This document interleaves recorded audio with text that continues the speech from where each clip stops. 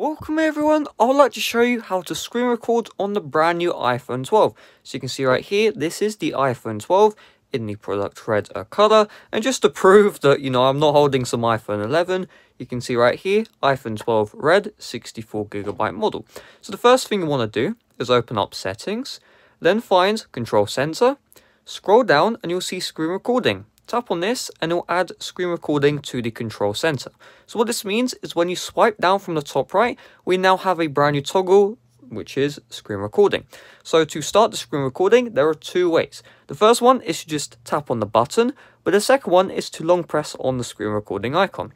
Well, uh, now we brought to this menu where we can start the recording and we can choose whether or not we want the microphone on or off.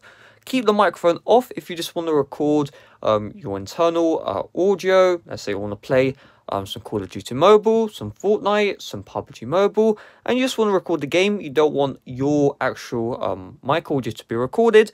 Uh, just turn off microphone. However, if you want to do a commentary, so you want to talk while uh, the game is playing, or you want to talk while you do something on the home screen, for example, then just tap on the on button and enable the microphone. But for me, I just want to have the iPhone um, internal audio and I just want to record my device without my actual mic being recorded. So I'll set this to off and I'll tap on start recording. We now have a timer and once the timer goes to a zero, you can see the screen recording has started. And you can see also at the top right, we have this red bar. This means that your iPhone is now screen recording. So every action you do on the homepage, every action you do inside of applications, it is being recording as we speak, right? So if I go into photos, that's being recorded. Camera, everything is being recorded and once we stop the screen recording, you'll be able to see the preview. So to stop the screen recording, just tap on the red bar at the top and for some reason that might glitch out and you won't see the red bar but you are recording. So you can also uh, enable control center. You can either tap on the uh, red icon or you can long press and tap on stop recording. Now you'll see screen recording saved to the photos right here. Depending on how long your screen recording is it might take a minute, might take two minutes in order for that to show up. Do not lock your device until you see that notification, otherwise the screen recording will corrupt and therefore you will not be able to see your recording.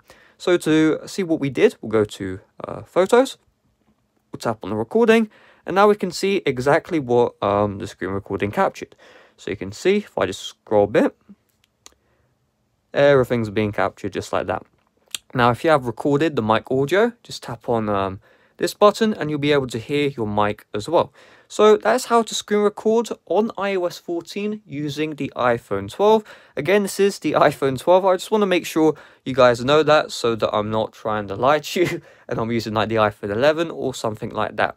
Hopefully you guys enjoyed. If you did, make sure you smash like. I will also have my iPhone 12 playlist in the description with all my iPhone 12 related coverage. So make sure you do check that out. And I'll see you guys next time.